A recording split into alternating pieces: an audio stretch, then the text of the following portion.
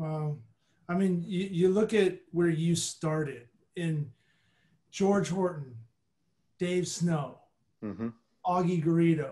I mean, three of the most iconic, I think, coaches on the West Coast that have come out and taught college baseball at the foundation, you know, taking these elite athletes.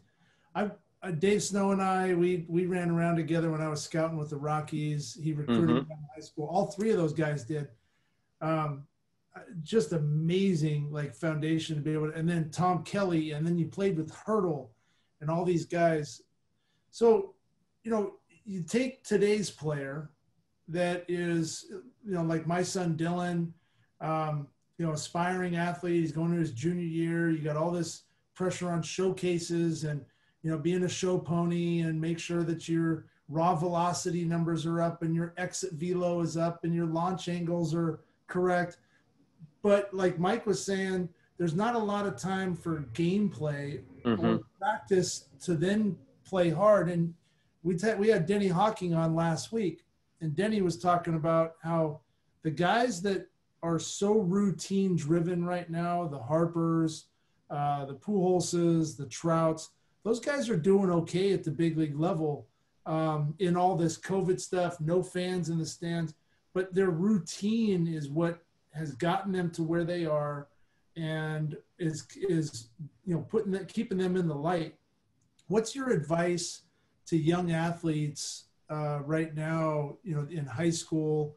Some you know are may play fall ball may not. Um, you know how do they find that routine? Because we talk about have a routine but what is that routine at that young level uh, you know for these aspiring college pro pro players Well, first of all, you know, I know the game has changed, you know, from when I played, and and I know there's all these different activities going on. I, I wish we would play more games. Unfortunately, you know, I think the games are the best teacher for the most part.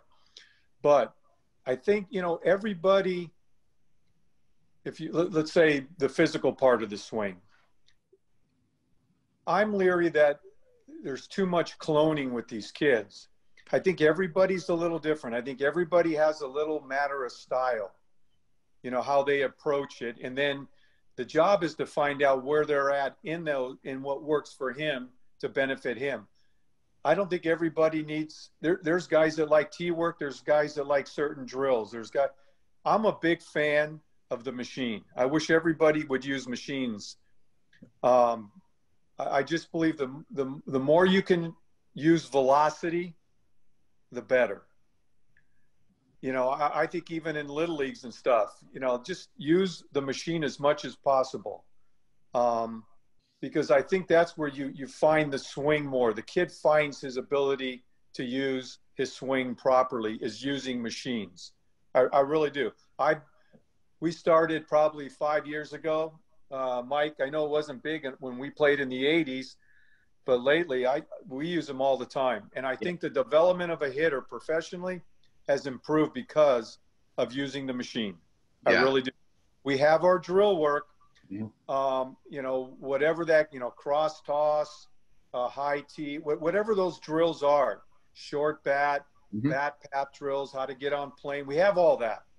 You know, we have a tire drill for bound. We got all sorts of stuff. But it goes back to being able to hit the fastball. And I think if kids and their travel teams focus more on hitting number one, they will improve their swing and will be able to adjust to number two. Mhm.